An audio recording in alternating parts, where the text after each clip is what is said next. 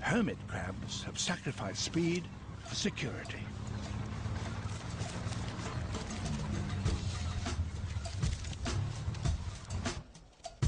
Rather than themselves shelling out for a new home, they've gone for a second-hand approach and moved into shells conveniently left behind by previous owners.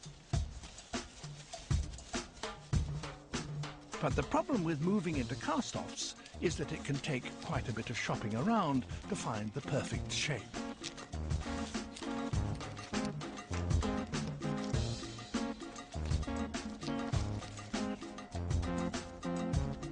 It needs to be roomy, and a quick feel round will confirm that it's going to fit.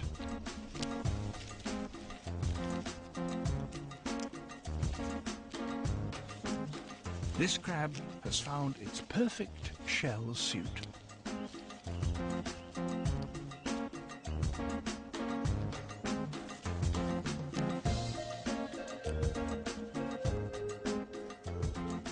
Unfortunately, not every crab can be so lucky.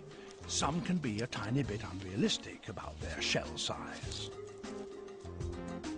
This crab has found the right size shell, but it has already been requisitioned.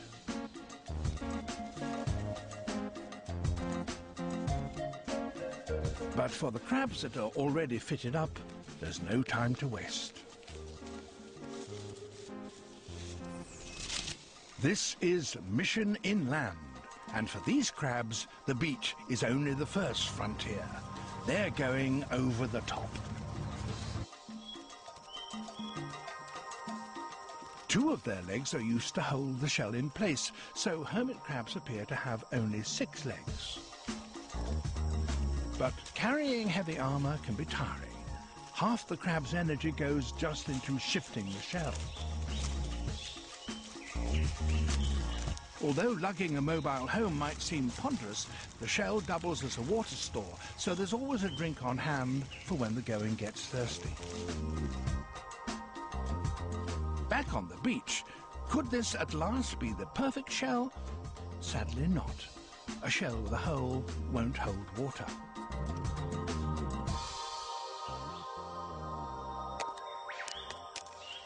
In the forest, there are rich pickings to be had, particularly for scavengers who will eat anything on offer. They locate the spoils by deploying chemical technology, an exception.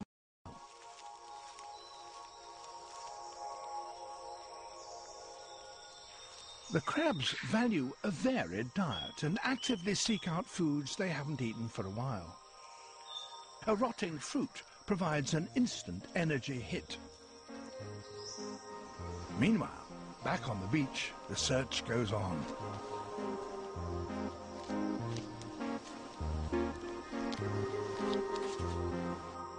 After taking on rations, the inland contingent need to replenish their water supplies.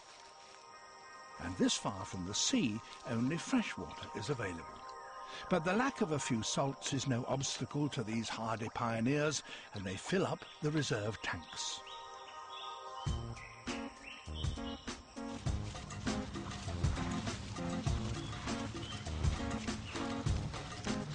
This system has one big drawback. A second-hand shell is only a temporary fix. The tenant soon grows out of it.